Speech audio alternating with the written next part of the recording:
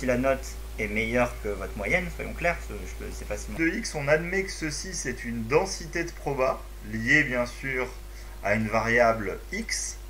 Et moi derrière, ce que je vous demande, c'est quelle est la probabilité que x est compris entre 2 et 4, par exemple. Est-ce que quelqu'un a une idée de comment on va calculer cette probabilité de x compris entre 2 et 4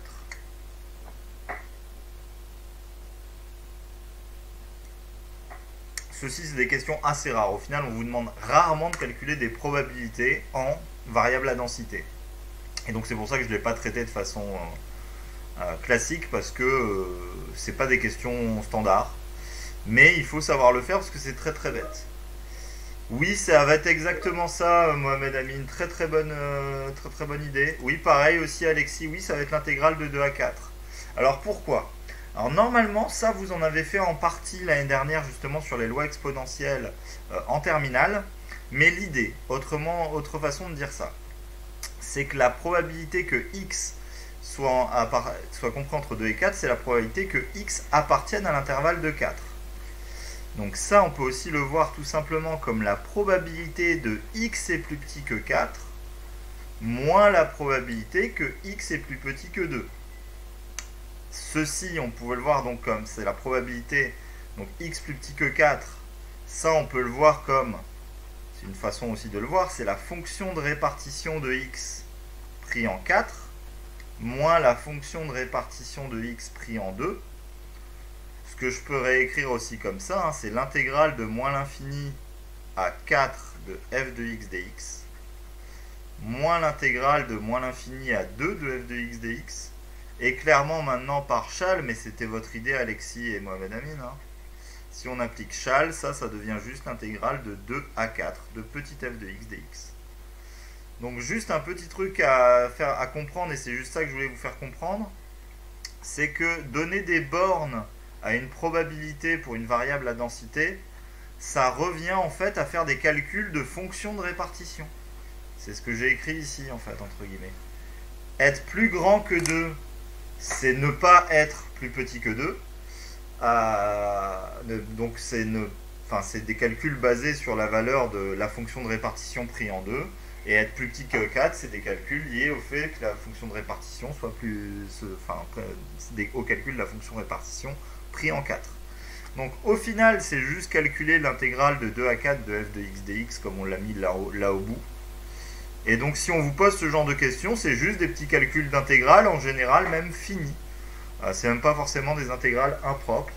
Euh, donc il faut savoir le faire. Je vais le faire ici pour cet exemple très bête. Euh, mais c'est pas des questions dures du tout. C'est pas des questions typiques, mais il faut pas qu'elles vous fassent peur parce qu'il n'y a pas grand chose dedans. Donc ici par exemple la probabilité que x soit compris entre 2 et 4, ça devient juste l'intégrale de 2 à 4 de exponentielle moins x dx.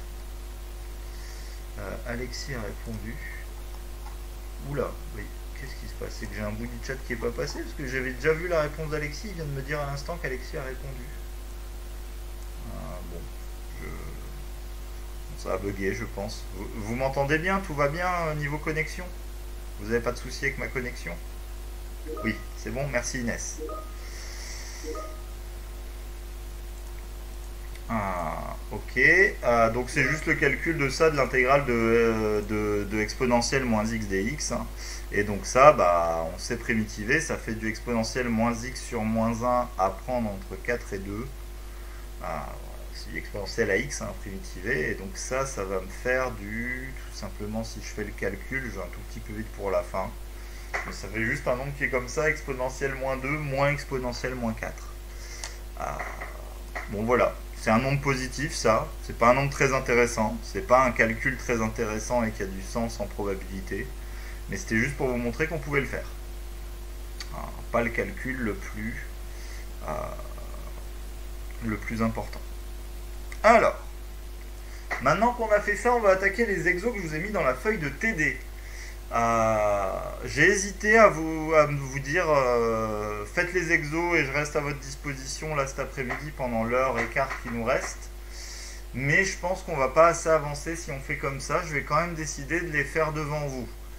Euh, c'est juste pour pouvoir faire plus de choses, pour pouvoir parler des concepts qu'il y a autour.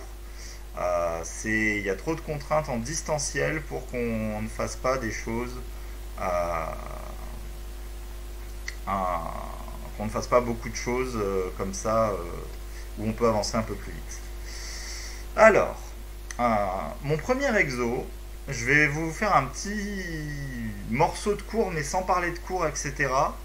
Enfin, c'est juste pour vous parler de choses qu'il faut que vous ayez en tête euh, même si on fait du cours en distanciel, ce chapitre des variables à densité, comme je l'ai dit, c'est le dernier chapitre très important de l'année, mais même parmi tout l'ensemble de l'année, c'est un chapitre très important sur lequel notamment je trouve qu'avoir une culture autour du cours, euh, sur, sur, les lois notamment classiques, même si elles ne sont pas officielles, euh, est un truc qui vous aide à vous sentir bien et à vous dire ah oui ça je l'ai déjà vu, ça je maîtrise, ça je sais faire, ça je sais faire. Enfin, c'est vraiment un thème où on peut bachoter, entre guillemets. Donc je vais en parler un tout petit peu. Même si on verra cette semaine et que c'est pas à connaître pour le moment, officiellement, vous n'avez que deux, deux il y en a trois entre guillemets, mais là je vais parler surtout de deux lois de référence à connaître, vu qu'on en a déjà plus ou moins parlé par des calculs intégrales. C'est la loi normale, que vous avez déjà vu normalement en, en terminale. La loi normale, c'est une fonction qui est juste définie par ça. Alors, puisque l'intégrale fait racine de 2pi, on l'a déjà vu, bah, en fait, la densité, il faut la diviser par racine de 2pi.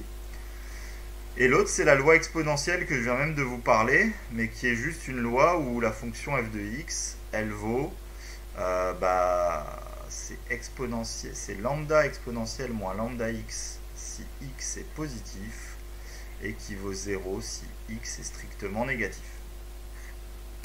On le verra cette semaine, peut-être en fin de semaine, mais voilà.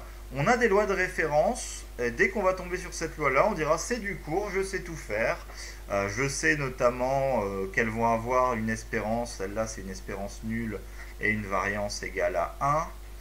Euh, et celle-là, on va savoir tout simplement que l'espérance de x est du 1 sur lambda et que la variance aussi, ce sera du 1 sur lambda. Euh, j'ai un doute, 10 secondes pour la variance, euh, que je refasse mon petit calcul à moi dans ma tête. C'est du 1 sur lambda ou c'est du 1 sur lambda carré? J'ai toujours un doute.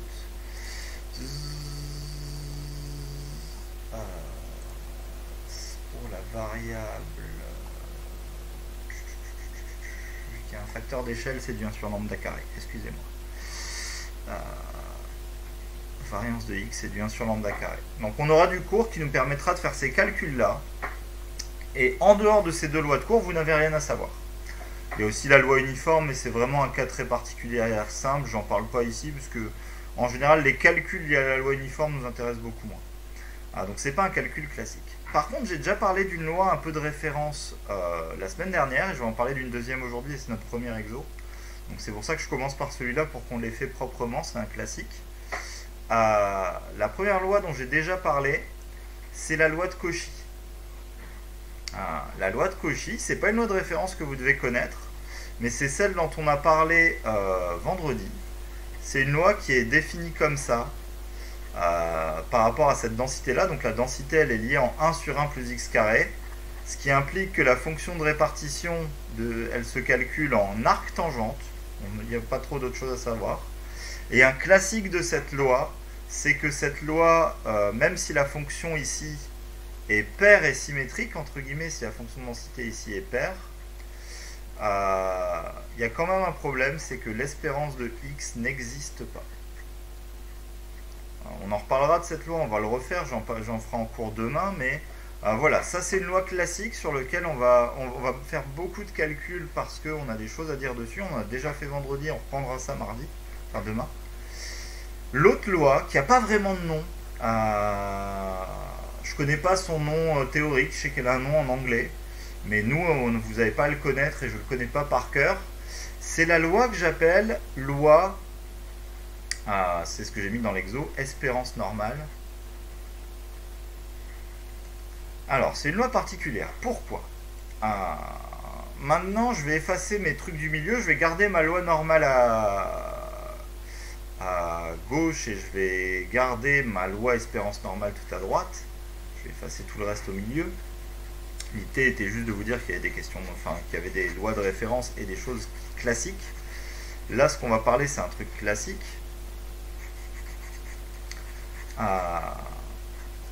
Quelque chose que j'avais pas dit tout à gauche sur la loi normale et qui est important, et ça c'est un truc qu'il faut savoir. La loi normale, sa densité, c'est cette fonction-là. On en parlera en cours quand on aura un peu de temps, soit en fin de semaine prochaine, soit quand on se revoit en présentiel la semaine d'après, c'est pas très important. Euh, je vais pas appeler ça phi tout de suite, ça c'est une notation qu'on verra en cours. Mais si je veux parler de la fonction de répartition de cette variable, ce serait ça par exemple, ce serait l'intégrale de moins l'infini à x de exponentielle moins t carré sur 2 racine de 2pi dt. J'ai une question. Est-ce que quelqu'un sait primitiver ça?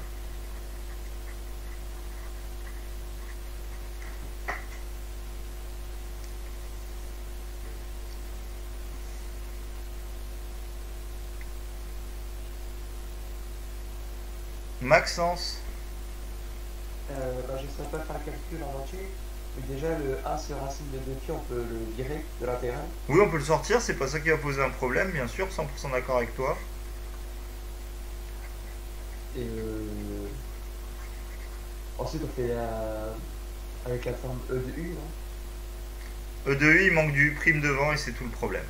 C'est que si tu veux poser du E de U ici, il me faut du U prime devant et il manque. Voilà, et c'est exactement ce que m'a Alexis dans le chat, et c'est pour ça que je vous en parle là. C'est que, on le verra en cours, nous, euh, dès qu'on va en parler cette semaine, mais la loi normale, en fait, donc cette, fonction de répartition, en fait, on sait qu'elle n'a pas d'expression analytique. On peut prouver mathématiquement qu'on ne peut pas trouver d'expression sans symbole intégral. Ce qu'on dit, c'est qu'elle n'a pas d'expression analytique c'est-à-dire une expression qui fait apparaître des fonctions de référence. On ne peut pas l'écrire à partir de nos fonctions de référence. Donc cette fonction de répartition n'a pas d'expression simple. Donc la loi exo que je vous donne, en fait, c'est une loi qui est donnée comme ça souvent. La version la plus simple, c'est celle que je vous ai mis dans l'exo. C'est-à-dire qu'on va dire que la densité, elle vaut x exponentielle de moins x carré sur 2 si x est positif, et elle vaut 0 sinon. Pourquoi j'appelle ça la loi espérance normale, même si c'est pas un vrai nom, etc. C'est parce que quand vous allez vouloir calculer l'espérance de la variable normale, vous allez faire l'intégrale de moins l'infini à plus l'infini de x exponentielle moins x carré sur 2 dx. Donc, ah, ce calcul-là, euh, bah, il fait quand même penser à l'expression que je viens de vous mettre de la densité de cette loi-là ça fait quand même penser au. Enfin, c'est la même expression. Sauf que là, on se limite au x positif. Bah oui, parce que déjà l'espérance, elle était nulle sinon. Alors que pour qu'on ait une densité, il faut que l'intégrale, elle fasse 1 ici, clairement. Et pourquoi l'espérance, elle était nulle ici? Parce que cette densité-là, justement, elle est paire. Donc si je la multiplie par x, ça devient une fonction impaire. Une fonction impaire de moins l'infini à plus l'infini, son intégrale fait 0. Donc, c'est-à-dire que on ne sait rien calculer là-dessus mais on sait calculer plein de choses qui dérivent de ça, notamment euh, on va savoir faire absolument tous les calculs sur cette loi-là, même si on ne sait pas faire grand-chose sur la loi normale. Donc c'est pour ça que c'est une loi classique et qu'il faut avoir en tête que même si la loi normale, on ne sait pas primitiver exponentielle moins t carré sur 2, dès qu'on met justement, et c'est un peu l'idée de, Maxence quand il a dit on fait du exponentiel u et je lui ai dit direct il manque du u', bah justement, quand vous mettez du exponentiel moins x carré sur 2, le u' que vous devez mettre devant, bah, c'est tout simplement moins x. Donc en fait, dès que vous mettez un x devant une exponentielle de moins x carré sur 2, ah, les calculs à partir de là se mettent à se passer très très très très bien. Je vous ai déjà fait calculer une intégrale impropre comme ça euh, dans les questions de cours des semaines précédentes, justement pour, entre guillemets, amorcer l'idée qu'il y a là derrière euh, sur cette loi-là, qui est une loi qui n'est pas du cours, mais limite, j'hésite même, hein, je me dis même que depuis le début de l'année, je devrais le rajouter dans la liste des primitives de référence, et vous pourriez même l'apprendre par cœur que ça ne me choquerait pas. Euh, mais vous pouvez apprendre que la primitive c'est-à-dire il a pris l'intégrale de ceci. Ça, ça se primitive tout simplement en moins exponentielle, moins x carré sur 2. C'est-à-dire juste me faire le lien entre cette fonction et sa dérivée. Donc là, là c'est la fonction dans le sens qui va par là, on parle bien de dérivée. Et là, dans ce sens-là, je parle bien de primitive. Parce que euh, cette, cette idée de calcul-là est fondamentale et doit savoir être menée. Voilà. Donc c'est à cause de cette propriété fondamentale-là que cette loi-là que j'ai mis dans mon premier exo est classique et qu'il faut savoir mener les calculs dessus. Bien sûr, on va le faire ensemble là. Euh, mais voilà. Est-ce que ça va sur l'idée de l'intérêt de cette loi, vu qu'elle est liée à la loi normale, mais qu'on va savoir faire les calculs? J'ai pas encore dit quel calcul, j'ai pas encore vraiment posé de questions. Mais est-ce que vous voyez bien ce lien de dérivée primitive Oui, ça va Raphaël? Héloïse aussi? Euh, Ok, bah allons-y, lançons-nous dans les calculs euh, de cet exercice, hein, parce que là, euh, ah, maintenant on va répondre question par question. Donc allons-y. tiens, je vais profiter du fait que j'ai mis le PDF là-haut pour faire édition, prendre un instantané, et comme ça, je vous mets tout le, sujet dans le chat. Comme ça, hop, c'est fait si vous voulez y avoir un accès en référence. Alors, allons-y. Montrer, première question, montrer que f est une densité de probabilité associée à une variable x. Ah, donc, montrer que petit f est une densité de probabilité. On va interroger quelqu'un. Hop. 8. Qui est en 8 1, 2, 3, 4, 5, 6, 7, 8. Emma. Est-ce que tu peux me dire ce que je dois prouver pour prouver que c'est une densité de probabilité Petit f? Trois choses. On doit faire euh, des limites? Non, justement. Là, c'est pour densité. Les limites, c'est pour fonction de répartition.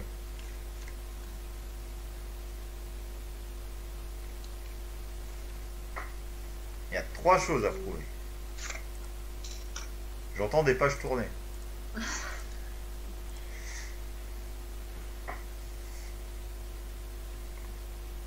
Bon, c'est pas grave, Emma. Gaspard, tu voulais participer euh, On doit prouver que c'est continu. Alors que F est continu sur quoi? Euh, euh, J'avoue que je sais plus. Ok. sur où il est défini. Alors justement, euh, pas là où il est défini, vu qu'une densité doit absolument, il n'y a pas le choix, celle-là, elle doit être définie sur R, c'est non négociable. Elle doit être définie partout. mais elle doit être continue sur ce que j'appelle A, mais A étant à redéfinir à chaque fois, c'est-à-dire que c'est l'ensemble, enfin ça doit être R privé de potentiellement de quelques points, et ça, ça change à chaque exo.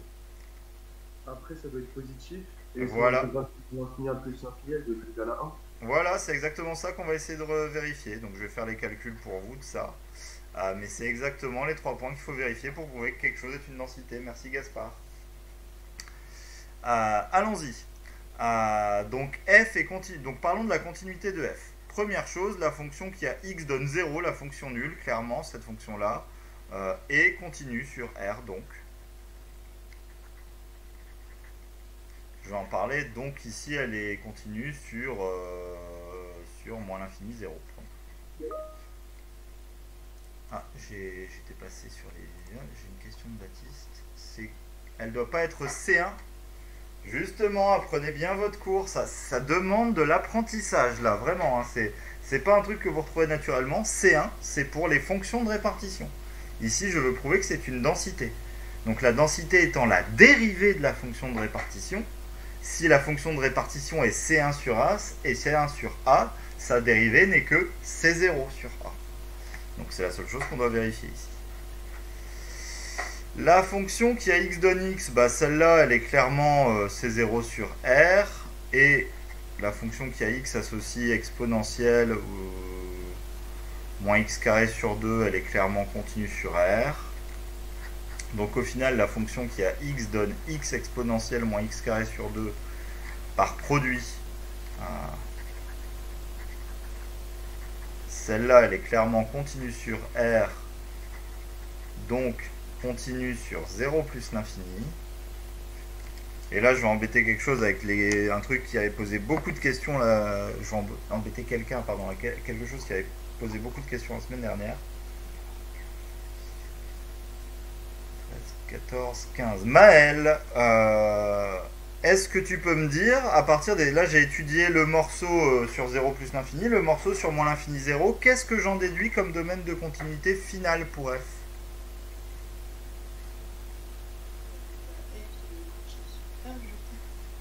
Non. Même si j'ai un 0 inclus ici, même si j'ai un 0 exclu ici, et que je suis d'accord que si je regroupe les deux, ça va faire R, cette fonction, elle a deux expressions différentes. On ne peut jamais conclure au niveau du raccord. Donc au final, cette fonction, elle est continue sur... Ah, oui, exactement, il n'y a pas le choix. Mais il ne faut pas se tromper, ne me dites pas de bêtises là-dessus. Ah, donc je conclus là-haut mon exo, donc F.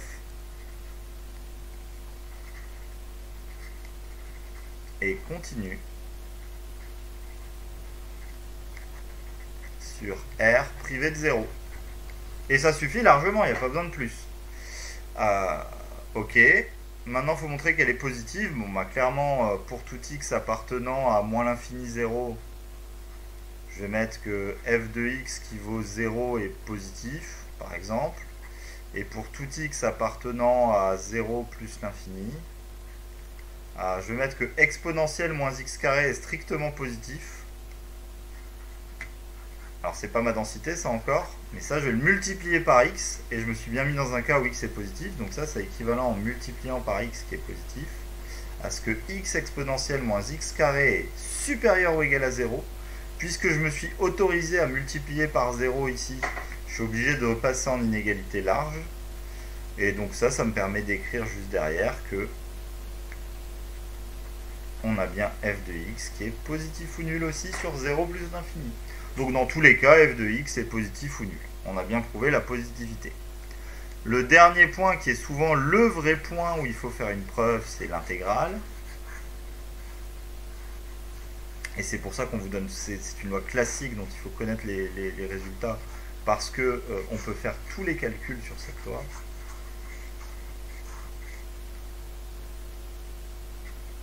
Alors, Première chose, l'intégrale de moins l'infini à plus l'infini de f de x dx.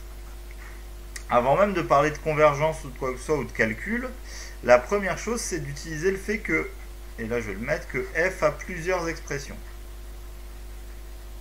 Donc détaillons cette intégrale en fonction des différentes expressions de f. Elle change en 0. Donc de moins l'infini à 0, ça fait du 0 dx. Pardon, derrière c'est un plus que je voulais mettre. Ceci est un plus. Ensuite, on a l'intégrale de 0 à plus l'infini, mais maintenant ça devient de x exponentielle moins x carré dx. Et ça, ça me permet déjà de dire que l'intégrale qu'on cherche, en fait, c'est plutôt celle-ci. Le reste étant, j'ai oublié un sur 2, excusez-moi, je le mets en rouge. Il manque un sur 2 ici. Euh, c'est juste l'intégrale de x exponentielle moins x carré sur 2 dx. Alors, puisqu'on nous demande l'existence, alors je vous rappelle quelque chose qui était du cours de vendredi, euh, l'espérance, elle existe si euh, l'intégrale converge absolument. Donc on va en parler quand même un tout petit peu. Euh, or, x exponentielle moins x carré sur 2, c'est quelque chose de positif. Donc l'intégrale de 0 à plus l'infini de x exponentielle moins x carré sur 2 dx non, je suis pas encore sur l'espérance, excusez-moi, je, je, vous dis n'importe quoi là. Ça, ce sera pour le calcul tout à l'heure. J'ai pas besoin de convergence absolue, j'ai besoin de convergence absolue pour l'espérance. Là, je suis sur la densité, excusez-moi, je vais beaucoup trop vite. Ah, je suis déjà trois, deux questions plus loin sans, m'en rendre compte. Euh, donc on est sur la densité, j'ai juste besoin de prouver que cette intégrale-là converge maintenant. Pour prouver qu'elle converge, puisque je dois aussi la calculer et montrer qu'elle fait 1, je vais juste me ramener à une intégrale finie et la calculer. Donc je vais me ramener à l'intégrale de 0 à a de x exponentielle moins x carré sur 2 dx c'est là où il faut avoir en tête, et il ne faut pas rater que ceci est une forme de référence. Alors je vous ai dit, vous pouvez limite la prendre par cœur, mais si vous voulez chercher, c'est on pose u de x, c'est moins x carré sur 2. Si on pose u de x qui vaut moins x carré sur 2, ça, ça fait l'intégrale de 0 à J'ai clairement, oula, c'est le but du exponentiel de u de x ici. Et je vous l'ai dit, euh, enfin on commence par écrire ce qu'il faut, donc je vais plutôt le coller devant ça. exponentielle de u de x, c'était le but. Et maintenant, pour le reste, on va juste forcer à apparaître le u' au numérateur. Donc pour ça, il faut calculer u'. u' de x, ici, pour nous, ça valait clairement du moins x. Donc si je le force à apparaître le u' au numérateur, je vais l'écrire u' de x sur moins x fois ce qui me restait dans mon intégrale, x dx. À ce moment-là, les x peuvent se simplifier et il ne me reste plus qu'un moins que je peux sortir de l'intégrale. Ça, ça devient moins l'intégrale de 0 à a de u' de x exponentielle u de x dx. Ça, ça me fait donc, c'est bien une forme de référence, hein, c'est la forme de l'exponentielle dont parlait Maxence tout à l'heure. Ça fait moins l'exponentielle de u de x à prendre entre 0 et 1. Oui, Maxence? Euh, Si jamais euh, la primitive, on l'a apprise par cœur. Ah oui, vous, vous la balancez, vous balancez entre les crochets que c'est le bon résultat, on vous dira strictement rien. D'accord. C'est ah, déjà parce que de 1, c'est un résultat très classique. De toute façon, vous êtes sans calculette, donc du moment que vous me balancez une primitive correcte, je vous dirai jamais rien. La seule chose, c'est quand vous balancez des primitives comme ça sur votre brouillon, à moins que vous l'ayez vraiment appris par cœur et que vous soyez sûr de vous à 100%, mais quand vous voulez tenter des primitives un peu au hasard, vérifiez vos primitives en les redérivant. Le nombre de fois où j'ai des primitives fausses et où je dois vous le mettre sur votre copie, c'est faux comme primitive, il suffit de dériver pour s'en rendre compte. Ah, attention à ça, mais sinon ça marche très très bien. Donc ça maintenant ça se transforme en donc du moins exponentiel de moins a carré sur 2. Euh, je vais donc me retrouver avec un plus exponentiel de moins 0 au carré sur 2. Bon bah exponentiel de 0 ça fait 1, je me retrouve avec ceci.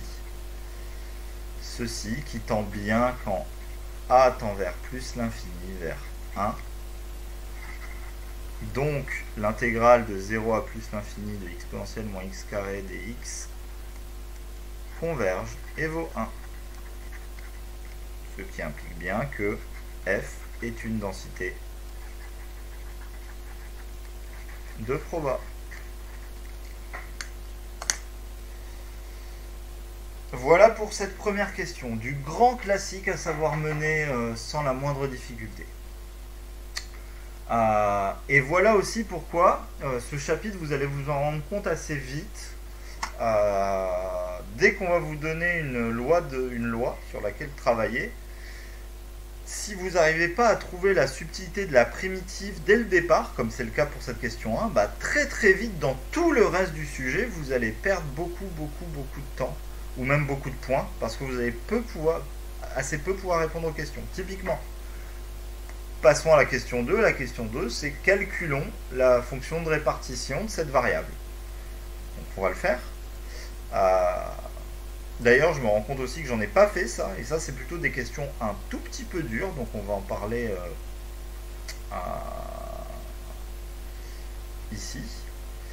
Euh, on n'a pas encore trop fait le calcul de fonction de répartition pour une variable, pour une densité qui a plusieurs expressions là, on va faire des dessins et on va se rendre compte de quelque chose. Hop. Ah. Hop. Alors, ici, je vais essayer de vous faire un dessin de petit f. C'est pas trop trop compliqué. Cette fonction petit f, elle est nulle ici. Elle décroche ici. Elle vaut 1 en 0, vu qu'exponentielle de 0 se fait 0. Et ça décroît comme une exponentielle en x carré. Donc ça décroît comme une exponentielle rapide. Voilà. Voilà juste le graphe de petit f. J'ai une question euh, pour vous euh, que je vais séparer en deux sous-questions entre guillemets pour que vous puissiez répondre dans le chat ou à l'oral si vous le voulez. Ça va être quoi? Il y a deux morceaux différents clairement au graphe de fx. C'est quoi ces deux morceaux et comment ça va donner quoi pour le graphe de fx Je rappelle que fx est clairement une fonction qui doit partir de 0 entre guillemets ici, elle est forcément compris entre 0 de ce côté-ci, et elle doit aller vers 1 de l'autre côté, elle doit être croissante et quasiment continue. À, quoi va ressembler, qu'est-ce que vous pouvez me dire sur la fonction de répartition de cette variable? Juste graphiquement ou d'un point de vue logique? Parce que aussi on peut dire que la fonction de répartition c'est la surface. hein. Par exemple, quand on est ici au niveau ici de la fonction de répartition, la valeur de la fonction de répartition c'est cette surface-là.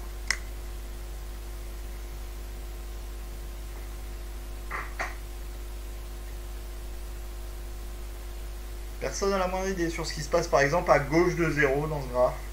Dans le graphe du bas, d'après vous, qu'est-ce qui se passe à gauche de 0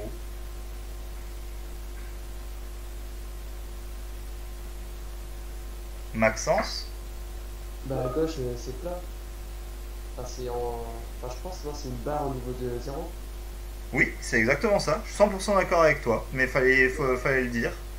Euh, pareil, François, c'est exactement ça. Et oui, je vois ce que tu veux dire, Baptiste, à droite, mais ça va être ça l'idée. Donc ça vaut 0 jusqu'ici. Euh, Est-ce que ça vaut 0 encore au niveau ici? Oui, ça vaut 0. La, la fonction de répartition est forcément continue. Par contre, elle n'est pas forcément dérivable en tous les points. Donc notamment, l'autre fonction n'était pas dérivable, n'était pas continue en 0. Donc elle n'a aucun, aucune idée d'être continue, d'être, pardon, d'être dérivable ici en 0. Euh, donc par contre après ça monte, c'est clairement une surface qui monte très vite au début, lentement après. Donc ça fait un graphe qui est comme ça à peu près. Ça ne fait que monter à la fin. Mais ça doit approcher de 1 à chaque fois, de plus en plus près. Mais voilà un graphe à peu près de cette fonction fx. Donc si vous deviez donner une expression de fx, elle aurait clairement plusieurs expressions en fonction des intervalles. Donc ça il faut s'en rendre compte. Donc pour la question 2 qui est calculer fx, il faut se rendre compte de quelque chose.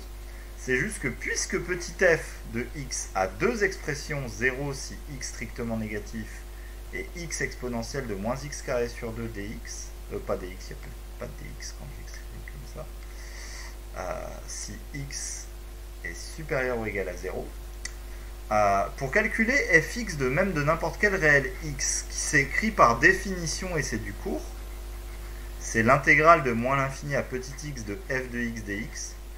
Pour pouvoir mener ce calcul-là, puisque cette fonction-là a plusieurs expressions, il va falloir non pas qu'on connaisse... Il y a un problème de notation, excusez-moi. Je vais pas mettre ça en x, je vais mettre ça en t, sinon j'aurai un problème. Euh, J'ai pas besoin de connaître en fait vraiment la- x il varie ici. Euh, donc ce que j'ai besoin de connaître en fait c'est la position de t par rapport à l'expression de ma fonction. Donc c'est-à-dire que je vais devoir faire deux cas. Pour calculer ça, je vais dire que c'est égal si t est strictement et négatif ou nul même à l'intégrale de moins l'infini jusque t, mais de 0. À ce moment-là, je connais parfaitement l'expression de ma fonction. Bah, donc dans ce cas-là, l'intégrale de moins l'infini à t de 0, ça fait 0. Ah, donc ça, c'est un cas. Ah, je peux le mettre comme ça, j'ai mis égal si t est négatif ou nul. Et d'un autre côté, c'est aussi égal si t est positif ou nul. Bah là, dans ce cas-là, il faut prendre l'intégrale quand même de moins l'infini. Mais il va y avoir l'intégrale de moins l'infini à 0 de 0 dx, plus l'intégrale de 0 à t de x exponentielle moins x carré sur 2 dx. C'est ça, je vais effacer mes graphes. Donc si on continue en fait les calculs, il y a vraiment deux expressions. hein. Je, peux, continuer là-haut aussi, c'est pareil. hein. Ça, ça vaut donc 0 si t est négatif. Et ça vaut l'intégrale de 0 à t, je fais juste que recopier ici de ceci, si t est positif. Alors attention, c'était un t strictement ici et c'est un t positif. Non, j'avais mis inférieur ou égal à 0. Alors vous voyez, j'ai dit de faire attention et j'ai fait la bêtise ici. À- Je peux mettre le 0 du côté que je veux, ça ne changera strictement rien vu que la fonction y est continue et il n'y a aucun doute là-dessus. Euh, par contre, il faut que je m'arrange pour en choisir un côté. Donc je vais enlever le supérieur égal ici, euh, juste pour être sûr que je ne donne qu'une seule expression à chaque fois à ma fonction. Comme on a vu, on sait primitiver ça. Ah, donc on va l'utiliser. Ça, ça vaut 0 si t est négatif ou nul. Et puisqu'on vient de faire le calcul, ça, on va le primitiver. Je vous ai dit tout à l'heure que ça se primitivait comme ceci. On a fait le calcul de forme juste avant. Si t est strictement positif. Donc au final, ça va valoir 0 si t est négatif ou nul. Et ça va valoir bah, moins exponentielle moins t carré sur 2 plus 1 si t est strictement positif. Et vous pouvez bien vous rendre compte que si vous injectez t égale 0 dans cette expression-là, pour t égale 0, on retrouve bien la valeur 0 qui fait qu'on peut mettre la valeur qu'on veut. Euh, le t égale 0, on le place d'un côté ou de l'autre sans la moindre difficulté, vu que cette fonction, on sait par primitive qu'elle va être continue. Donc voilà, voilà comment on calcule une fonction de répartition. Est-ce que vous avez compris la subtilité que si, si et uniquement si la densité a plusieurs expressions, à différents morceaux différents, il faut découper en fonction de la position de votre variable ici t, en fonction des différents intervalles pour connaître les différentes expressions de la fonction. Oui Hugo? Ah j'ai une autre main de levée aussi, mais vas-y Hugo. Euh, là par rapport à inférieur ou égal ou supérieur, est-ce qu'il ne faut pas mettre dans le même sens que la, fonction de la densité? Si, c'est ça, c'est une bonne norme pour pas se tromper. Ici, j'avais juste envie de garder le zéro un maximum pour pas m'embêter. Euh, très souvent, les sujets vont être cohérents du début à la fin et vont vous faire garder les mêmes notations. Mais j'assure que ça ne pose aucun problème ici. Euh, parce que là, c'est la même expression en fait. Dans, les deux cas, ça vaut zéro point. D'accord, ok, c'est pour être sûr. Mais je suis d'accord avec toi. C'est un, bon, un bon réflexe de garder le même sens d'inégalité. Maxence, t'avais une question aussi ou t'avais oublié de baisser la main? Euh, Non, non, c'est une question.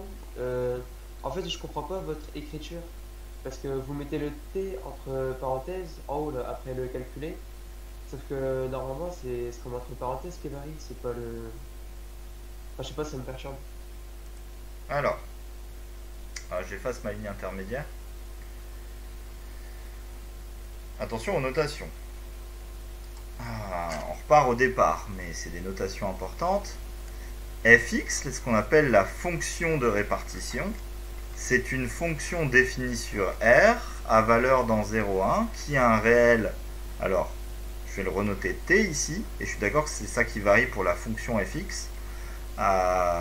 C'est la probabilité que x est plus petit que t. Et donc, bien sûr, plus quand je fais, notamment quand je fais augmenter t mon événement ici x plus petit que t est de plus en plus grand, c'est ça qui rend par exemple cette fonction croissante. Donc je suis tout à fait d'accord avec toi que officiellement t varie pour ça. Mais maintenant, on a aussi le lien entre fonction de répartition et densité qui est celui-ci. fx de t, encore une fois, c'est l'intégrale de moins l'infini jusqu'à t de f de x dx. C'est ce qui m'a permis tout à l'heure, par exemple, de calculer la probabilité de x compris entre 2 et 4. Est-ce que tu es d'accord que c'est ça qui permet de calculer des probabilités, notamment, Maxence? Euh, Oui, oui. Oui, ok. Alors, maintenant, justement, ce qu'il faut comprendre, c'est que quand cette fonction-là varie, ce qui varie, c'est la borne du haut t.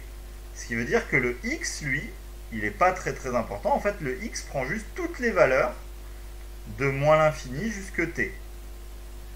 Donc puisque x prend toutes les valeurs de moins l'infini jusque t, c'est justement la valeur de t qui va me fixer l'expression de f de x. Si ah, t est négatif, mon f de x prendra jamais l'expression avec le x exponentiel. Mais si t est positif, dans ce cas-là, c'est ce que j'avais écrit pour la deuxième intégrale, je, vais effacer ce que j'ai remis là en bas pour juste expliquer ça. Mais donc notamment en fait, si je fixe d'abord si t négatif, bah, je fais l'intégrale de moins l'infini à t de f de x dx, mais mon x, il va, mon petit x, il va parcourir de moins l'infini jusque t, qui est lui-même inclus dans moins l'infini jusque 0. Donc je suis sûr et certain que cette intégrale-là, c'est l'intégrale de moins l'infini à t de 0 dt. 0 dx, pardon.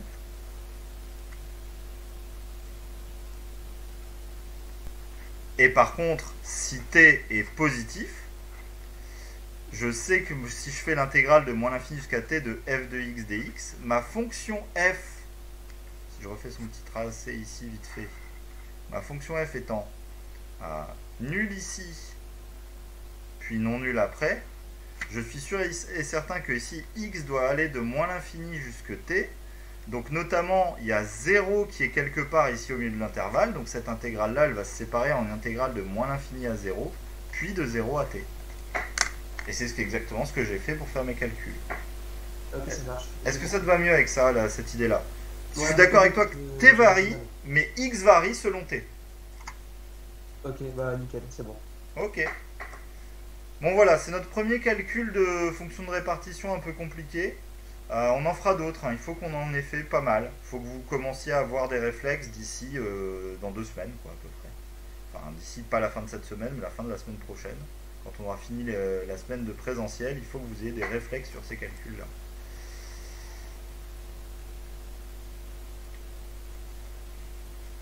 Donc on a la fonction de répartition. Ok.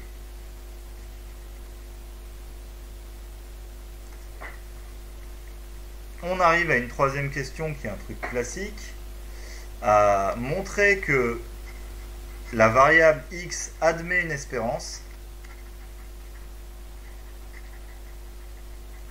et la calculer. Ah, Chose plutôt classique ici, qui va faire intervenir notamment les intégrales de fonctions de référence qu'on a vues dans l'autre chapitre, puisqu'elles étaient liées aux variables à densité. Euh, ok, alors là je vais revenir un tout petit peu sur le cours, c'est ce que j'ai voulu aller trop vite tout à l'heure en, le faisant. Je rappelle que x admet une densité, euh, admet une espérance, ah une espérance, excusez-moi, je mélange mes mots, je suis désolé. Admet une espérance, c'est si et seulement si l'intégrale de moins l'infini à plus l'infini de tf de t dt, et c'est là où je voulais insister tout à l'heure et où j'allais beaucoup trop tôt pour insister, on, va, on va insister beaucoup, hein. si et seulement si cette espérance converge absolument. Ça va être un point essentiel. Donc là, il va falloir quand même dire quelques mots pour parler de la convergence absolue. Alors, n'empêche que pour cet exercice-là en particulier, ça va poser aucune difficulté la convergence absolue. En fait, la convergence absolue ne posera des difficultés que quand vous aurez des variables qui peuvent prendre des valeurs négatives. Or là, notre fonction de densité, elle est positive que en gros que dans les positifs. Dans les négatifs, elle est nulle, donc elle ne prend pas de valeur. Donc on ne va pas être gêné du tout dans ces cas-là. C'est dans les autres cas qu'on va avoir des problèmes. Ah, Allons-y, pourquoi? On va juste dire que l'intégrale de moins l'infini à plus l'infini de tf de t dt, bah, c'est tout simplement, et on le sait, on va juste utiliser les deux expressions de la fonction de répartition. Ça va faire t fois 0 dt, plus l'intégrale de 0 à plus l'infini de t fois bah, t exponentielle moins t carré sur 2 dt. Donc en fait, ça, c'est ni plus ni moins que l'intégrale de 0 à plus l'infini de t... Pourquoi j'ai mis un t carré? Excusez-moi, j'ai voulu aller trop vite. Il n'y a pas de t carré ici. C'est justement le fait que en multipliant t par t, on obtienne un t carré. Donc ceci, ça nous donne ce- cette intégrale-là, et donc ce qu'on doit vérifier, c'est que cette intégrale-là, est-ce qu'elle converge absolument? Alors c'est là où on va avoir aucun problème, parce que la convergence absolue, je vous rappelle que c'est la convergence en valeur absolue, mais or, ici, quel que soit t appartenant à 0 plus l'infini, il est évident que la fonction t carré exponentielle moins t carré sur 2 est une fonction positive. Donc l'intégrale converge absolument si et seulement si elle converge en fait. La notion de convergence et de convergence absolue pour les fonctions positives, c'est la même notion. Il n'y a pas de notion en plus.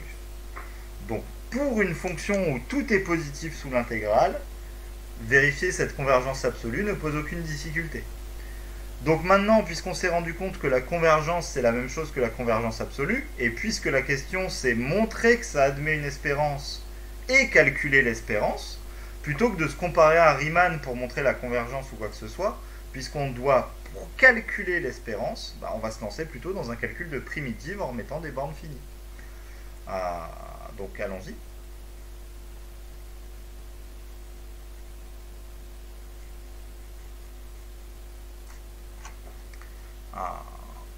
On va calculer, calculons, c'est pas directement l'espérance, hein, mais calculons l'intégrale de 0 à a de t carré exponentielle moins t carré sur 2 tt.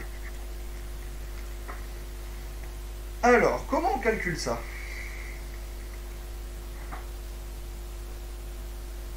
Là, il y a qui qui a eu ça? Je, l'ai donné en call cet exo-là en termes d'intégrale impropre la semaine dernière. Je l'ai donné à qui?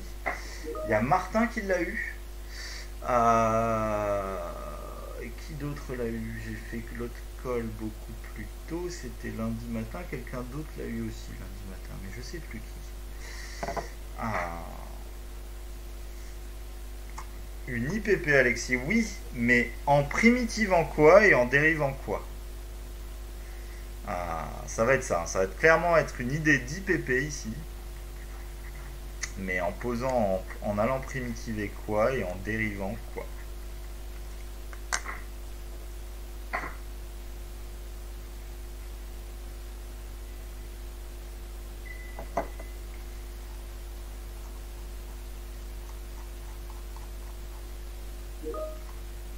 primitive de E et dérivée de t carré, François. Dérivée de t carré, primitiver l'exponentielle. Alors justement, et on revient au point que je vous ai dit tout à l'heure, et là vous refaites la même erreur que tout à l'heure. Tout à l'heure, je vous ai dit que ceci n'est pas ceci. Puisqu'on ne connaît pas la fonction de répartition de la normale, ceci, on n'en connaît pas. On ne connaît pas de primitive.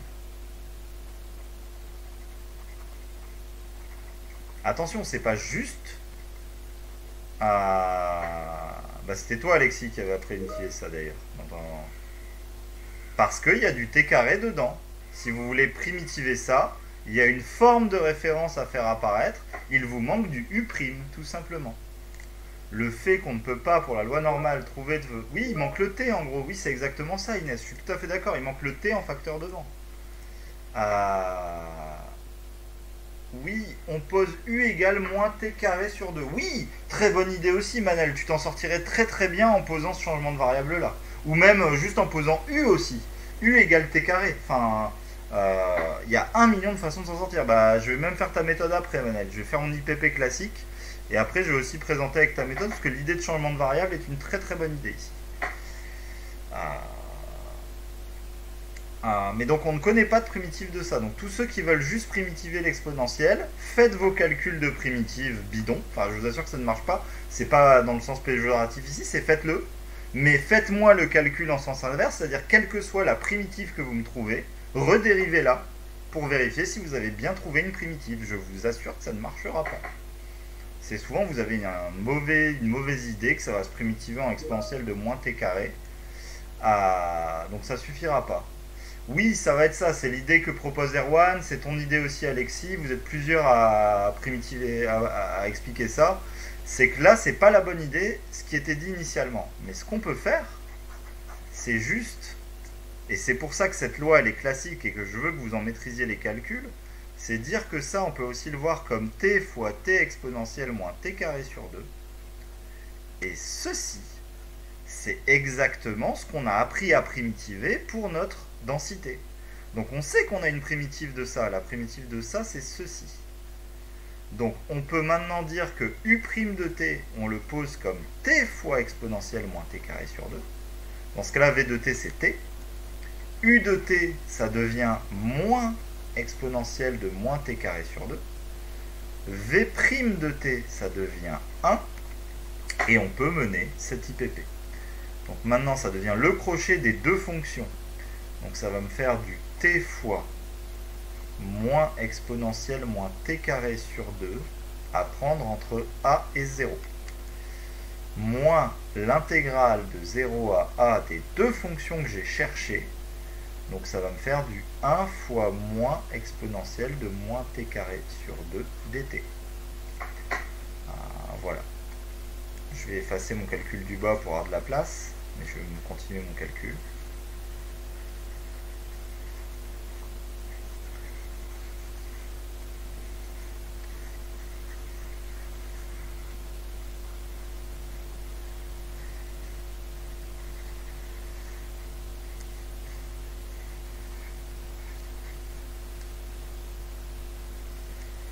Ah, donc si je continue mon calcul ici, si je développe mon crochet, ça va me faire du... Bah, en 0, mon crochet il vaut clairement 0. En A, il va me faire du moins A exponentielle moins A carré sur 2. Ensuite, dans l'intégrale, j'ai deux moins qui se compensent et il me reste l'intégrale de 0 à a de exponentielle moins t carré sur 2 dt. Au final, maintenant, ça, c'était pas mon espérance. Ça, maintenant, ça tend quand a tend vers plus l'infini. Alors, je demande à quelqu'un, hop,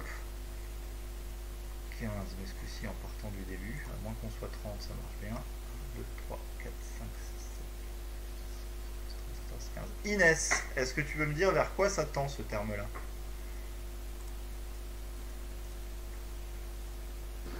Euh, oui, euh, ben, du coup, euh, ça, bah, par croissance comparée, on peut dire que ça tend vers plus l'infini. Alors, croissance comparée, ça tend vers plus l'infini. Ce terme-là, l'infini, tend vers l'infini. Et là, j'ai de l'exponentielle de moins l'infini. Ah oui, mais il y a un moins devant, ouais, donc du coup, euh, Mais je suis d'accord avec toi que c'est de la croissance comparée, mais la limite, c'est pas plus l'infini. De toute façon, avant même de réfléchir plus loin, Inès, je voulais prouver que l'espérance existe et converge. Est-ce que la réponse pouvait être plus l'infini? Euh, non, bah non, du coup. Oui. En fonction de la réponse, c'est ça. Mais non, par croissance comparée, exponentielle de moins l'infini, ça fait 0. Oui, Manel, oui, Charlotte, oui, Max, c'est exactement ça. Ah, donc ce terme-là tend vers 0 par croissance comparée, parce que l'exponentielle l'emporte et que l'exponentielle en moins l'infini, ça va vers 0. Maintenant, ce dernier terme, quand a tend vers plus l'infini, ça tend vers l'intégrale. Ça aussi, ça tend. Quand a tend vers plus l'infini, bah, tout simplement vers l'intégrale de 0 à plus l'infini de exponentielle moins t carré sur 2 dt. Euh, et ça, le but, c'est de calculer l'espérance. hein. Donc, oula, je vais repasser en couleur normale. Donc, l'espérance de x. Bah, même problème, dcp. Oula, c'est quoi même problème dcp J'ai j'ai- pas compris. On peut pas primitiver. Je suis 100% d'accord avec toi qu'on peut pas le primitiver, ça. Donc, on va pas calculer cette intégrale comme une intégrale. On va pas primitiver ça. Mais c'est pour ça que je vous ai fait apprendre des intégrales de référence. C'est pour pas les calculer. On ne peut pas primitiver ça. Par contre, je vous ai donné la valeur de cette intégrale de référence. C'est du cours. Alors d'ailleurs, qui va me balancer son cours très très vite? C'est pas possible, ce dé est pipé. Je triche. 1, numéro 1. Ah, ah, il y a quelqu'un qui a levé la main plus vite que moi. À lancer, non, ça a déjà baissé. Euh, Ahmed, est-ce que tu peux me dire euh, quelle est la valeur de cette intégrale?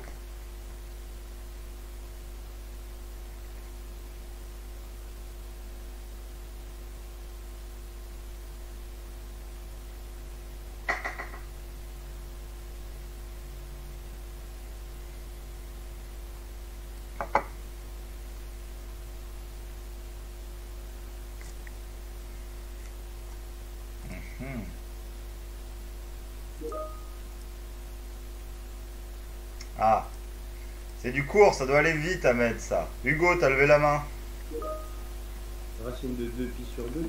Oui. Racine de pi sur 2. Oui, ou racine de pi sur 2, François, c'est la même chose dans le chat, c'est pareil. C'est pas un non. C'est justement, c'est celles qui sont liées à la loi normale, elles sont toujours en racine. Donc c'est racine de pi sur 2, ou comme l'a dit Hugo, comme ça, ça me va aussi. Monsieur, dans les hypothèses, je comprends pas les U. Euh, C'est-à-dire la- primitive Bah en fait, euh, quand, ouais, quand on dérive U de T, euh, j'arrive pas à voir comment on obtient ça.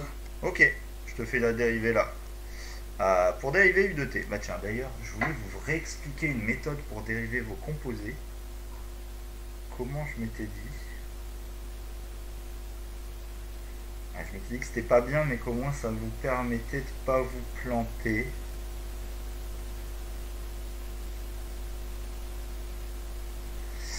Ah ouais, je vais faire encore une fois mon mauvais prof de maths, mais il y a un moment où je veux que vous sachiez dériver des composés avant de savoir les faire proprement.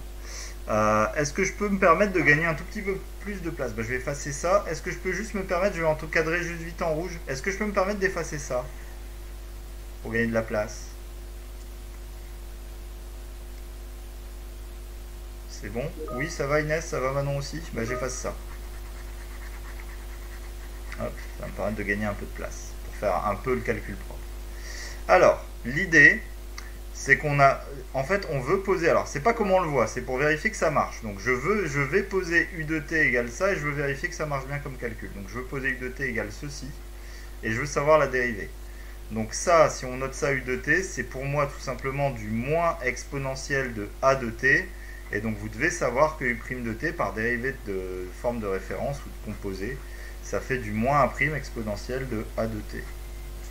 Ah, donc maintenant, il n'y a plus qu'à faire les calculs à partir de a et de a'. a de t, ça vaut moins t carré sur 2. Donc a' de t, ça fait euh, bah, la dérivée, donc moins 2t sur 2, donc ça fait du moins t. Ah, et donc maintenant, mon u' de t, ça me fait bien du moins moins t facteur de exponentielle de moins t carré sur 2. Et ça me fait bien du t exponentiel moins t carré sur 2. Alors, ce que je me suis dit, c'est qu'en début d'année, je fais un truc qui vous plaît pas en fait. Ça, c'est la, preuve tout à fait correcte. Je fais un truc qui vous plaît pas, c'est la méthode physicienne pour les dérivés de composés. À ce moment-là, vous me dites Oh, mais monsieur, des notations de physicien, c'est horrible, ça sert à rien. Et pourtant, je vous dis, mais là, ils ont été géniaux ils ont fait quelque chose de bien. Donc, je vais faire mon mauvais prof de maths. N'écoutez pas si vous savez bien dériver vos composés. Écoutez si vous savez mal dériver vos composés. Euh, en gros, ce que je vais vous dire, c'est pour dériver n'importe quelle fonction, par exemple celle-ci, et je vais le faire en plusieurs temps moi, vous pouvez poser n'importe quelle lettre et remplacer n'importe quelle lettre de, ce, de cette dérivée par autre chose, du moment que si vous mettez une lettre, vous mettez la même lettre en prime en multiplication. Qu'est-ce que je veux dire par là? Sans voir ça comme des fonctions mais comme des lettres. Moi par exemple j'ai envie de poser d'abord, ah, c'est un peu la même idée qu'il y a là, hein, mais je vais d'abord poser a non pas moins t carré sur 2 parce que je ne le vois pas magiquement, je vais poser a égale t carré sur 2. Ce que je viens de vous dire, c'est qu'on peut toujours mettre un changement de lettre du moment que devant je mets du a', du moment que dès que je veux poser une lettre, je remultiplie par a'. Donc ça pour moi c'est du a' fois moins exponentiel de moins a. Et là, je me rends compte que j'ai fait une bêtise encore une fois, juste en posant mon t carré sur 2, c'est que moi, exponentielle de moins a, il y a encore des histoires de composés et je ne sais pas faire. Donc je vais poser b. Là, moi, je vais poser b. Ah, bah, je vais poser tout simplement b, je veux que ce soit moins a pour pas m'embêter. Et j'ai toujours le droit de poser une lettre du moment que dès que je pose cette lettre, qu'est-ce que je dois faire là-devant? Je dois forcément multiplier par B'.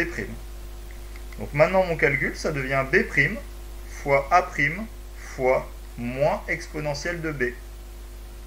Euh, attendez, j'étais parti en... Il y a des notations qui ne me vont pas du tout. J'ai voulu faire mon explication et je suis mal parti dans mes, entre, dans mes notations. Il y a un truc qui ne va pas, excusez-moi. Quand je vais dans le calcul de U' en fait. Si je veux poser une lettre, donc là, là maintenant, je suis dans le calcul de U'. Ah, j'ai ça. Et donc j'ai oublié d'écrire quelque chose, c'est que ça, c'est toujours dérivé. Donc là, j'ai toujours à dériver moins exponentielle de b. Bah maintenant, normalement, j'ai assez de lettres simples pour que ça marche. J'ai toujours mon b', mon a' que j'ai pas calculé, mais moins exponentielle de b chez le dérivé. Ça fait juste moins exponentielle de b. Donc maintenant, j'ai plus qu'à dériver a'. a', c'était bah, du 2t sur 2, ça c'était simple, je savais le faire. Donc ça maintenant ça me fait du 2t sur 2 fois moins exponentielle de b. Exponentielle de b c'était moins a. je reviens en moins a pour le moment. Et j'avais b', comme b c'était moins a, b' ça vaut moins 1.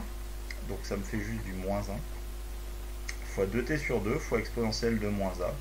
Donc au final ça me fait du moins t fois moins exponentielle de moins t carré sur 2 et ça fait du t exponentiel moins t carré sur 2.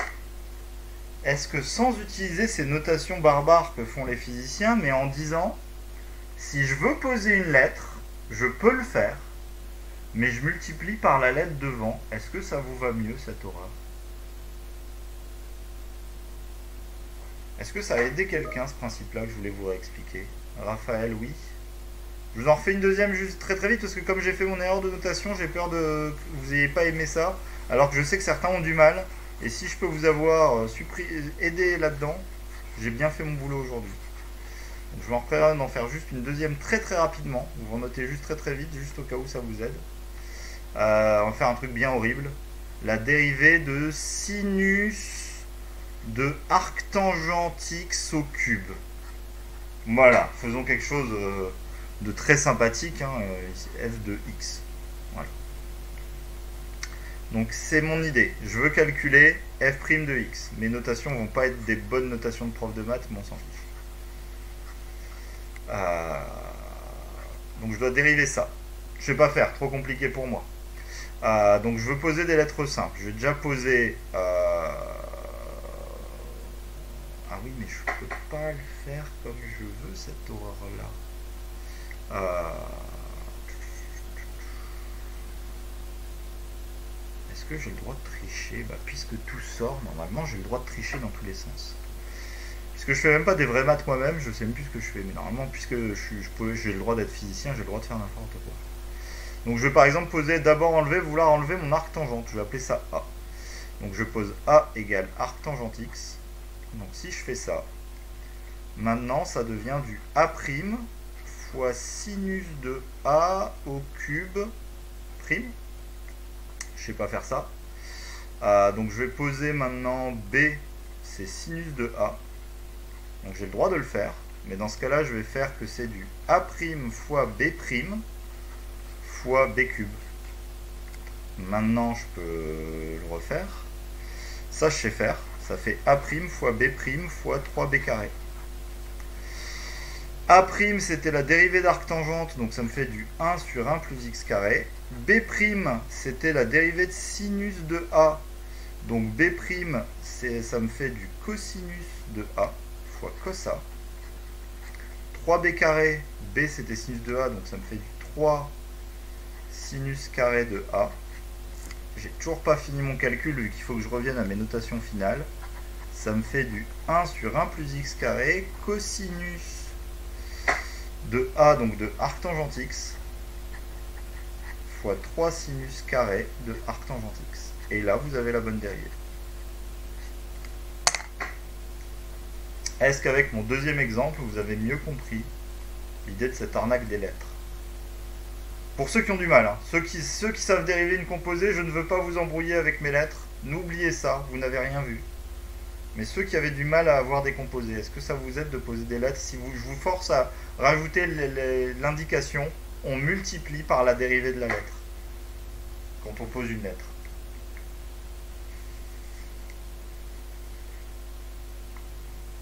Je voulais vous expliquer ça parce que je m'étais dit que, quitte à vouloir faire quelque chose qui vous aide, si ça, ça vous aide, je m'en fiche.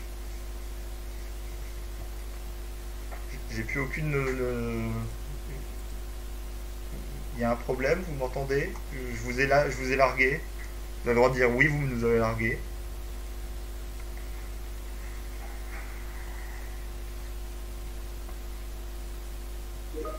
Ça va, Julien? Hugo aussi, Hé- Héloïse aussi, ça va Bon. Vous nous entendez Ah, ok. Bon, très bien.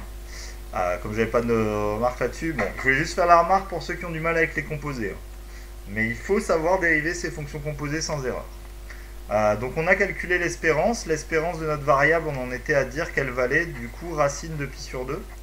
Je vais juste refaire le calcul une fois. On était sur l'intégrale de 0 à de ceci. Parce que euh, tout simplement Manel avait proposé une très très bonne solution qui était de poser u qui vaut moins t carré sur 2. Alors, alors, ça me paraît être une très bonne solution à froid. J'ai pas fait les calculs, mais ça me paraît être une très bonne solution. Euh, Il y a quand même un truc qui me gêne. Bon, on va voir. Euh, parce que je, je vois pas comment les racines de pi vont arriver, alors que je me dis que ça va revenir à faire euh, les lois exponentielles. Sur le coup, ça me paraîtrait être une bonne idée. À le reposer maintenant, j'ai un doute. Mais je vais tenter quand même. Elle est trop stylée la méthode des lettres. Ouais, mais le problème c'est qu'il faut que j'arrive encore à faire expliquer euh, proprement. euh, Bon, après, si vous voulez faire des maths 100% corrects, chaque fois que vous posez. Ouais, non, ça, je peux pas vous faire faire 100% correct. Oui, ça marche bien. En tout cas, vous êtes sûr de pas vous planter, je pense, avec les lettres. Euh, Mais disons que à la limite, dans ce cas-là, vous partez de ça et sur votre copie, vous écrivez directement la bonne réponse en disant que vous avez appliqué la formule de dérivée décomposée. Parce que les lignes entre deux, sur une copie de maths, je les vois, je suis pas. Bah, en fait, je préfère 100 fois, et même 100% des correcteurs préfèrent 100 fois que vous ayez la bonne dérivée avec des mauvaises notations, plutôt que vous ayez une mauvaise dérivée avec des bonnes notations. Soyons clairs et, soyons clairs et nets. hein. La- la- la- le niveau de zéro, c'est d'avoir les bons résultats. Maintenant, à voir des trucs comme ça, on se dit mon Dieu, mais que fait le prof de maths qui leur explique un truc pareil? Il est complètement fou. euh, Parce qu'en gros, du point de vue sens de ce qu'il y a derrière, c'est pas ça qu'on a fait. hein. Euh, mais ça marche. Euh, donc c'est une recette de cuisine. J'aime pas trop les recettes de cuisine. Mais vu que certains ont vraiment du mal avec les dérivés de composés, si cette recette de cuisine vous va, apprenez-la. Ça me va très bien. Ah, voilà. En gros, c'est un abandon pédagogique de ma, de ma part. Si on fait ça au brouillon et que balance direct que c'est la bonne sur votre copie, c'est bon. Oui, de toute façon, enfin, soyons clairs. Cette calcul de dérivés de composés, euh, si vous êtes à l'écrit et que vous n'avez pas de calculette avec vous, euh, on sait qu'elle vient de votre cerveau. hein, Il n'y a, aucun doute là-dessus. hein. Mais dans ce cas-là, euh, écrivez directement le résultat en disant c'est un calcul de dérivés de composés. On ne vous embêtera pas. Donc j'étais sur l'idée de Manel. Euh, je veux poser que U vaut moins T carré sur 2. Euh, ok, donc clairement 1 DU. Monsieur, je vois plus ce que vous écrivez au tableau. D'accord, euh, reviens Manel. Euh, donc si je dérive ça, ça va me faire du moins 2t sur 2 dt. Donc je vais me retrouver avec du qui vaut moins t dt. Donc je vais me retrouver plutôt avec du sur moins t qui vaut dt. Bon, c'est pas terrible ça, du sur moins t qui vaut dt, on va voir. Euh, Ensuite, ah, ça c'était la première partie, le changement de vitesse. Les bornes aussi qu'il faut changer, ça c'est pas trop trop méchant. Si t vaut 0, u vaut moins 0 au carré sur 2, donc u vaut 0. Si t vaut a, bah u il vaut moins a carré sur 2, donc ça c'est les bornes. Il ne reste plus qu'à faire le corps, et le corps ici il n'est pas si simple que ça non plus. Je vais me permettre d'effacer ma dérivée de composé.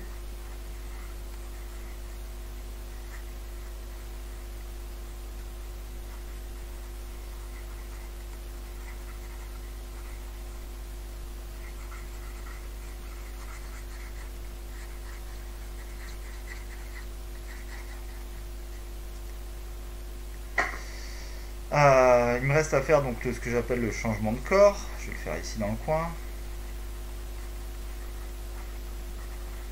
Donc c'est dire que maintenant je veux remplacer tout ce qui est en T là-dedans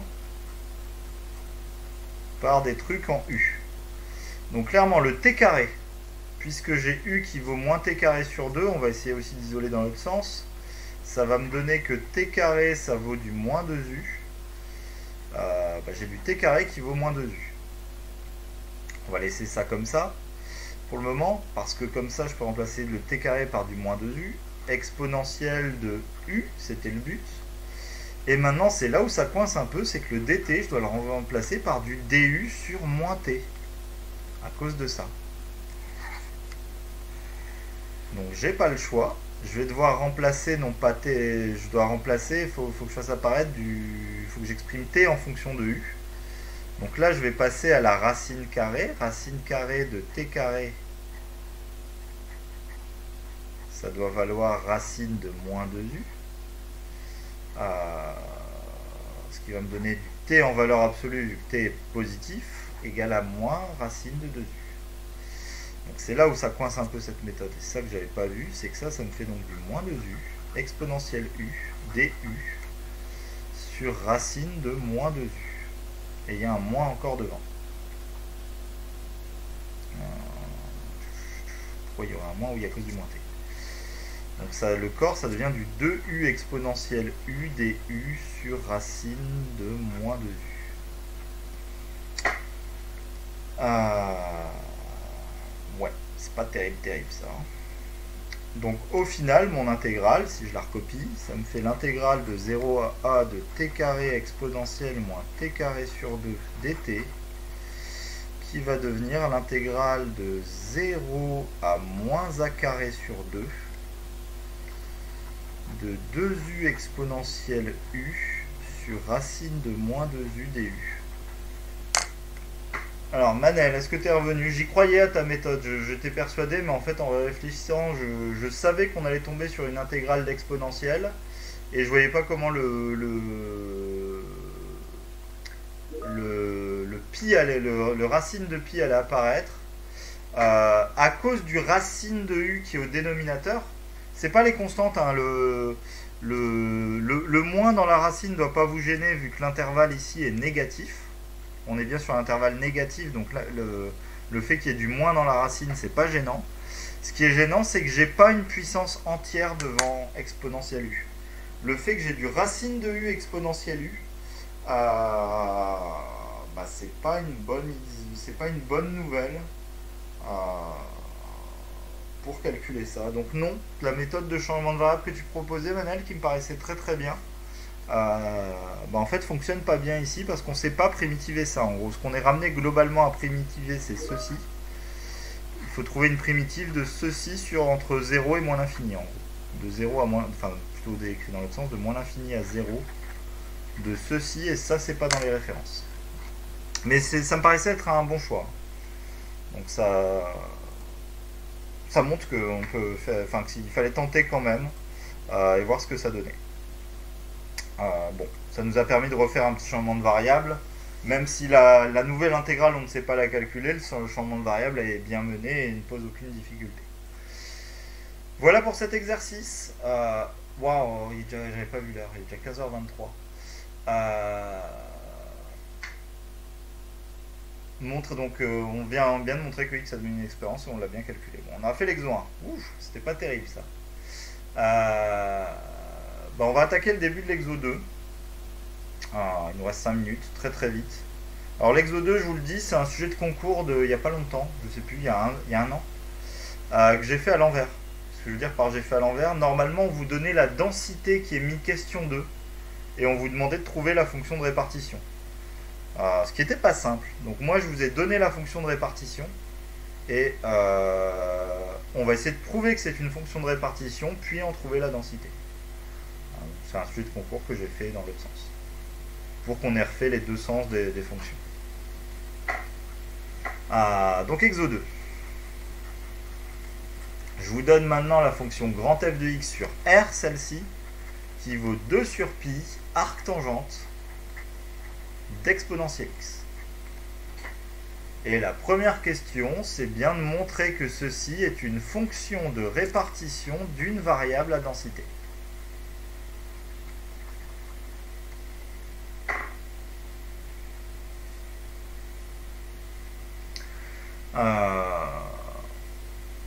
Bon, euh, allons-y pour ça. Vous le savez, alors souvent on a fait ça avec des fonctions qui avaient plusieurs expressions, ce qui posait des problèmes de raccord ce genre de choses. Ici, ça va être un tout petit peu plus facile, c'est pour vous montrer qu'il y a aussi des fois où c'est facile. Euh, on va juste parler du domaine de continuité et de dérivabilité de cette fonction, donc du domaine sur lequel elle est C1 en fait. Euh, la fonction qui a x donne exponentielle de x, elle est clairement C1 sur R. La fonction arctane,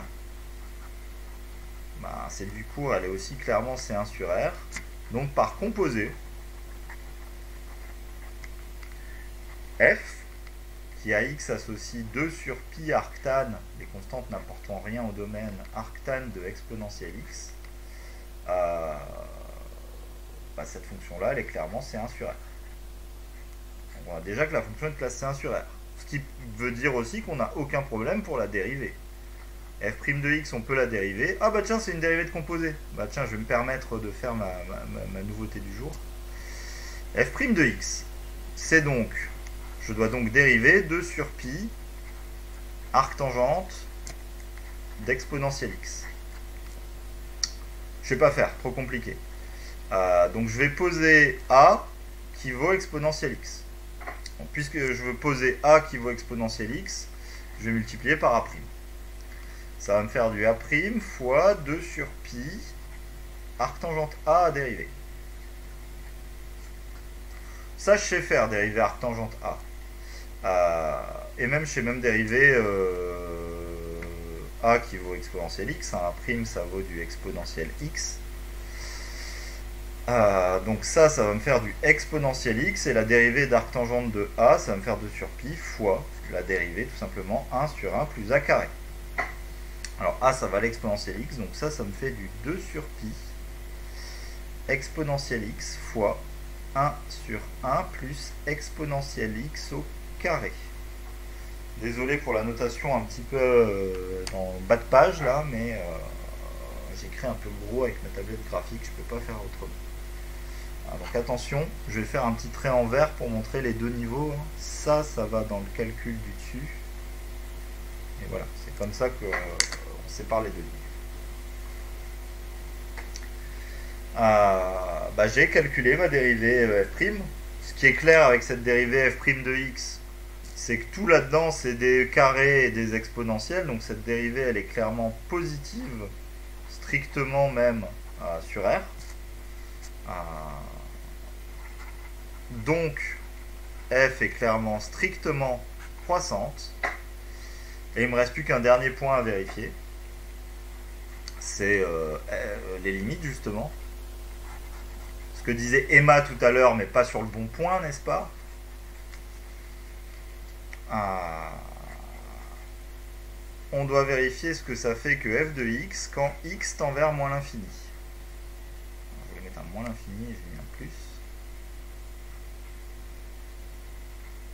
Bah, quand ça tend vers moins l'infini, ça fait, ça fait entre guillemets du 2 sur pi fois arc tangente de exponentielle de moins l'infini. Donc ça fait comme du 2 sur pi en fait arc tangente de 0 et vous devez tous savoir que arc tangente de 0 ça fait 0 donc on a bien que la limite quand x tend vers moins l'infini de ça ça fait 0. On reste à faire la limite en plus l'infini.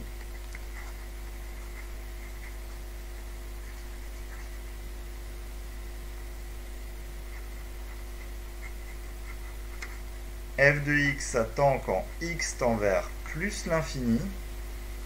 À bah, tout simplement vers 2 sur pi fois arc tangente entre guillemets de exponentielle de plus l'infini. Donc ça fait entre guillemets du 2 sur pi arc tangente de plus l'infini. Et tout le monde sait que ceci ça fait du 2 sur pi fois pi sur 2 et ça ça fait 1 bon euh, voilà pour cette petite question. Et donc tout ça réuni montre bien que grand F est une fonction de répartition d'une variable à densité.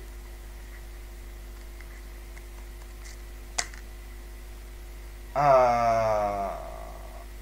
Bon, je vous laisse continuer ces exercices-là. Je vous en ferai un corrigé euh, dans la semaine de ces, de ces exercices 1 et 2. Le 3, on le fera sûrement ensemble. Euh, parce qu'il y a des paramètres dedans et que je veux qu'on ait travaillé des tru- trucs à paramètres. Peut-être en TD lundi prochain pour l'exercice 3, on verra. Euh, juste dernière chose et j'arrête là. Dans le poly de cours, dans le chapitre 13, si vous voulez refaire vous-même des calculs sur cette loi euh, liée à l'espérance de la loi normale, il y a l'exercice 10, euh, qui est un sujet d'EDEC de CE de 2018. Euh, qui fait une variante de la variable qu'on a fait en exercice 1 avec un paramètre en plus. Donc un exo un tout petit peu plus dur. On sait faire que les questions 1 et 2 pour le moment. Mais d'ici la fin de la semaine, on pourra faire tout l'exo. Voilà.